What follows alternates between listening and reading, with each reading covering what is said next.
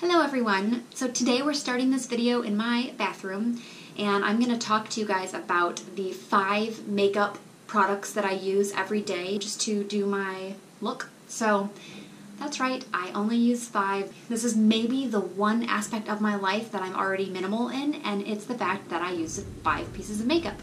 Maybe some people don't use any makeup, more power to you. I'm one of those people who feel the need to wear it every day. Yeah, but I, I've got about a 10 minute makeup routine and about a five or so minute hair routine. So it's fairly minimal. I'm also going to go and clean out my makeup drawer and some of the drawers in my vanity here. Yeah, I only use five products, but it's actually really trashy down there. Um, and I do have other products where I bought them on a whim because I don't know why, thinking like, oh, this is gonna be my new favorite and then I never use it or I don't like it and it just ends up taking up space. So I'm going to clean out everything that I don't use that's not in my core makeup case and this is what I use. Like this this is my makeup. Every day it fits in here. A lot of other parts of my life are really really cluttered and trashy, but my makeup collection is really really stinking small. Um, so I'm proud to show you guys what I use. Let me show you first what I have in here. This video is a little tough today. I use a eyebrow cream, I guess. I don't even know what it is. Fluid line. I don't know. It's um it's eyebrow cream stuff and my eyebrows are naturally invisible so I use this every day to sculpt my eyebrows.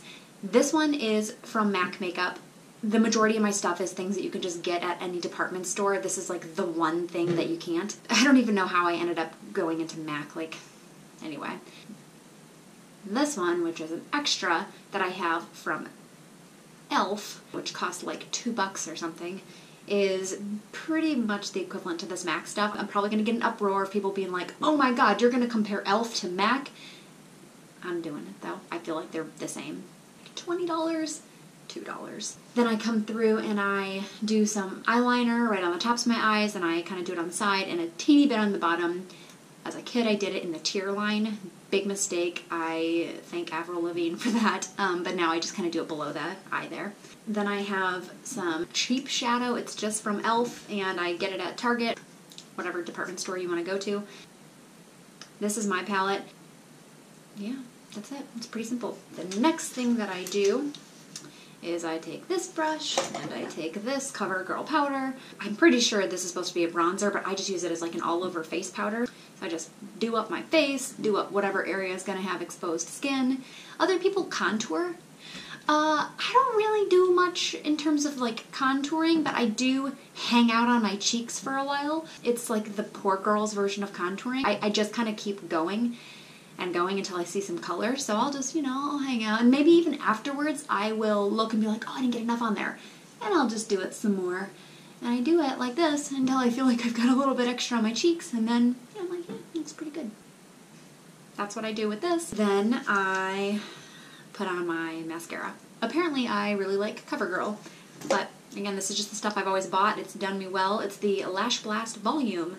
So I usually do like a dark brown, but sometimes I do black. Anyway, that goes on my eyes, I do my bottoms and my tops, and I'm good. And that's it. That's all the makeup I have. So just to recap here, all my makeup fits in here, with the exception of the bronzer. Well, there's my brush for my bronzer, eyeshadow, brush for my eyeshadow, eyebrow goop, brush for my eyebrow goop, eyeliner, mascara. That's the makeup that I put on. Let's just take a walk through it. Let me show you what I do every day right here in this bathroom.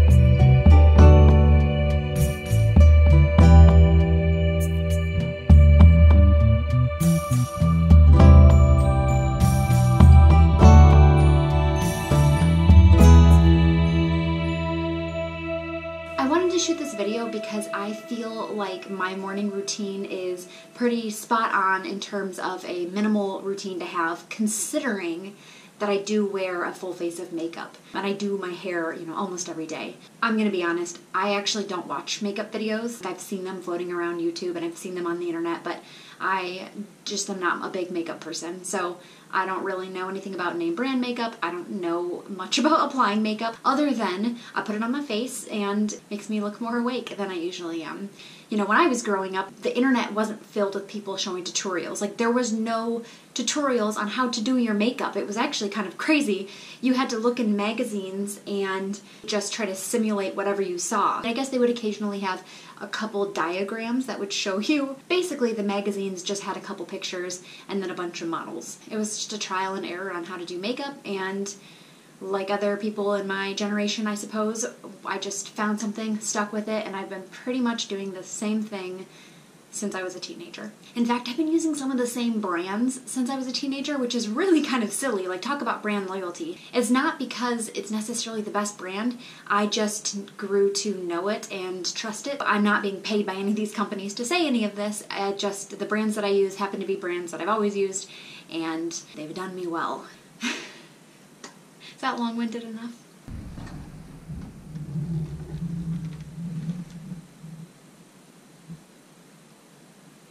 Anyway, this is my makeup drawer. The fact that I only use those five makeup products that I showed you means that I can get rid of a lot of stuff that's in here. Basically, here's my drawer of stuff, and I have some more stuff that I'll get into, but first I'm going to pull out what I do use.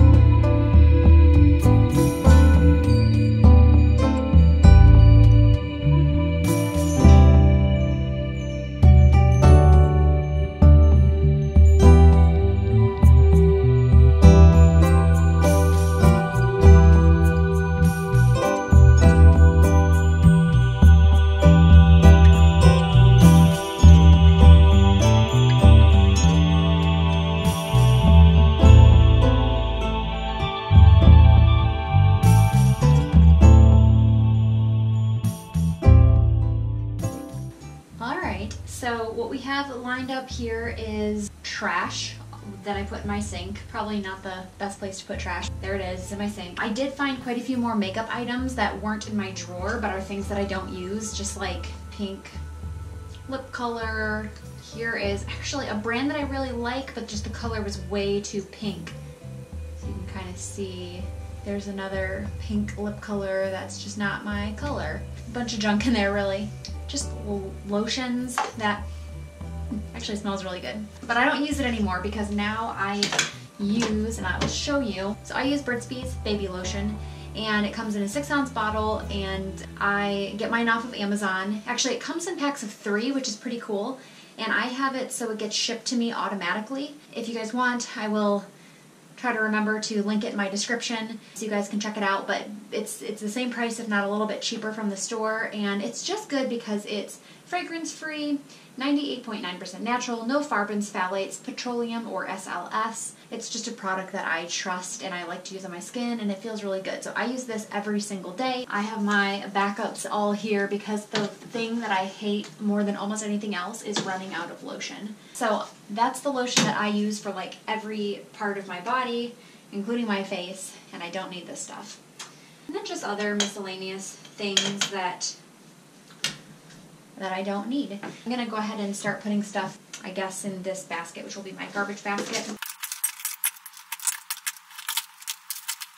So I don't really need both of these. I don't even know what the difference is. I guess whatever. I will keep this one, I guess. This is like isn't this silly? Do you guys also buy things in sets? Like these are two different brands and they're basically the same color. There's no reason that I should have both of these because I really should finish one before moving on to another, but for some stinking reason, I gravitate towards the same colors. Same with these ones.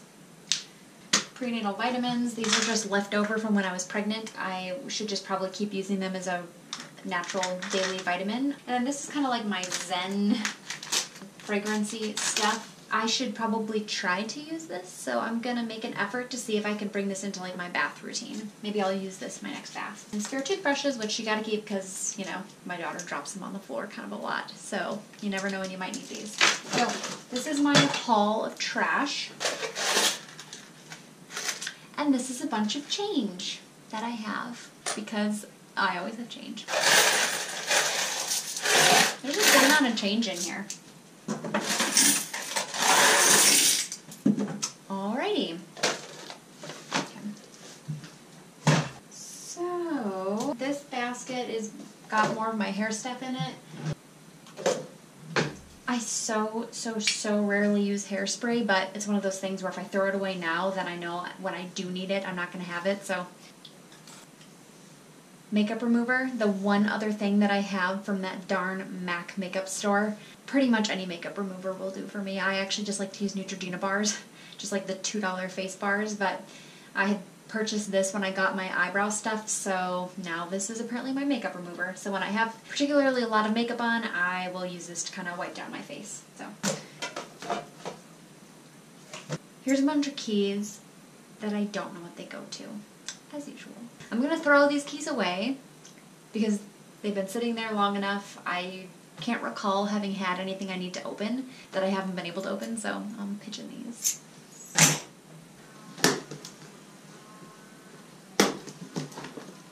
This is kind of a silly bin that I don't get into very often, but it's got like nail polish removing stuff and a bunch of my daughter's hair tie stuff. So this is a place that I think is good to keep extra hair ties and nail stuff.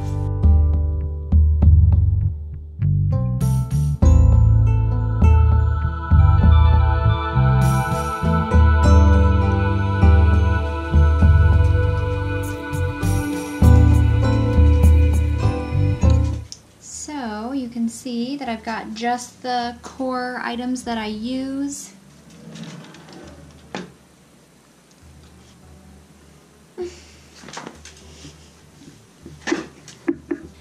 the last thing that I want to talk to you guys about is the importance of having just those couple pieces of makeup that you really like. The pieces of makeup that when put together equal your signature look. Maybe for you guys though, it's three pieces of makeup. Maybe it's 15. The number is not so important. What's important is that you know what your look is, you know how long it takes you to do it every day, and you just stick with it. What's classic for you? What is the look that is the most versatile that you can wear everywhere you go? You know, I think that what's so nice about that is it adds a simplicity to your life. So if you know what your makeup's gonna be like, there's no question of what you're gonna do that day. You do your routine and it looks good and you're out the door. And so even though it's not a different look every day, nobody knows that. I don't go around and have people be like, hey, your makeup looks different. Or, oh, your makeup looks particularly good. Like to me, it's just, just get a look and stick with it. And that makes life a lot less complex.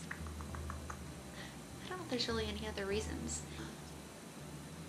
The other reason not to just keep makeup hanging around, makeup goes bad. I mean, that's that's all there is to it. Makeup goes bad, like it gets really dirty and full of bacteria. I think that they say it's like three months is typically as long as you want to have some makeup open. I've had makeup a lot longer than three months, but it's not really good for you. I've had styes in my eye before, which is pretty gross, and they said it's from just bacteria from gross old makeup.